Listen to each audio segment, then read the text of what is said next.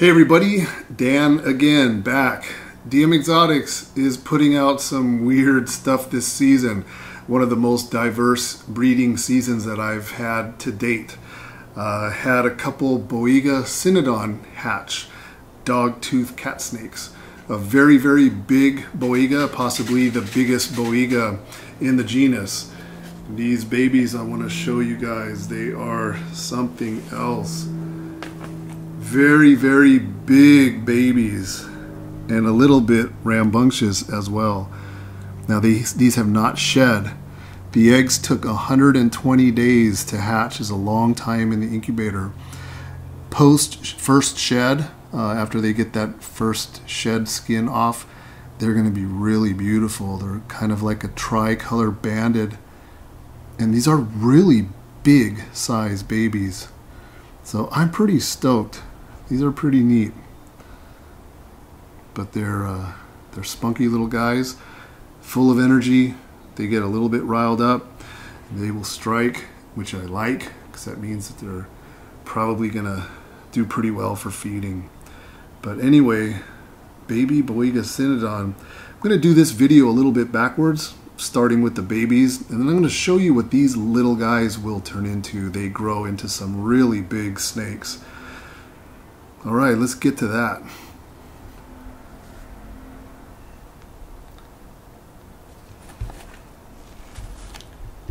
So this, what I'm holding here in my hands, this is an adult Boiga Cynodon.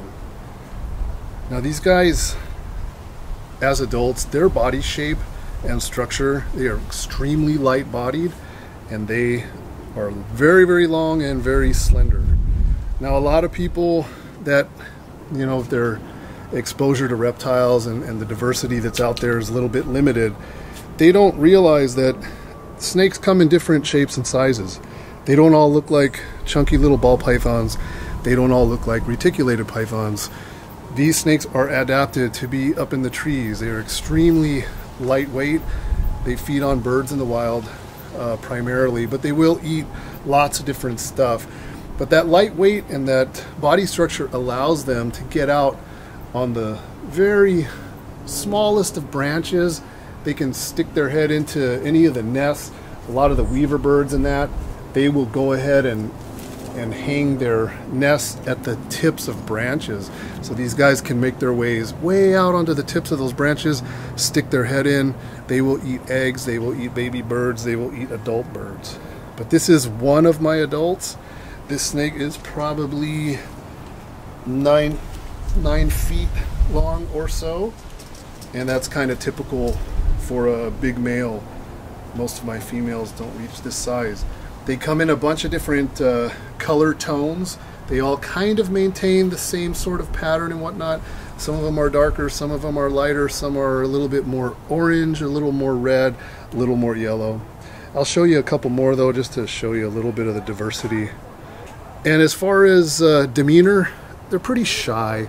They, um, this is basically how they act. Very, very rarely will I come across one that tries to take a take a strike at you, but pretty interesting snakes. Very, very different. I've brought a few to reptile expos, you know, they come by the table and they look and I hear right away the comments, oh, that snake is sick. And it's like, no, you just walked down an entire aisle full of ball pythons. It's not a ball python. This is normal. This is what it's supposed to look like. But anyway, let me show you a few more some different colors. So here's another one. This one is a little bit darker, a little bit more orange, has a lot more yellow coming out in the body. Really, really pretty snake. You can see that the the head and the labials is more more yellow and gold. I keep these snakes in arboreal type cages try to keep them with some height, let them have some branches, and I feed them uh, whole quail eggs, and I feed them frozen thawed chicks and frozen thawed quail. And they will eat scented rodents occasionally. Uh, sometimes I'll scent the rodents with like raw egg, and that tends to work really well. Or you can scent them with chicks as well. And normally, you know, once they've been around for a while and they're feeding real good, they usually feed readily on the eggs and the, and the birds, and then you can kind of start switching them over. But really interesting snakes. You know, you get you get good ones to start with, you get them established, and they breed just like all the other Boiga. It's not uh, it's not extremely difficult.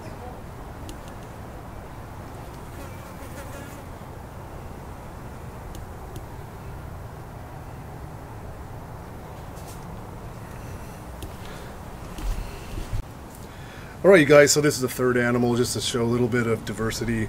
It's a little bit drab uh, in coloration compared to the others.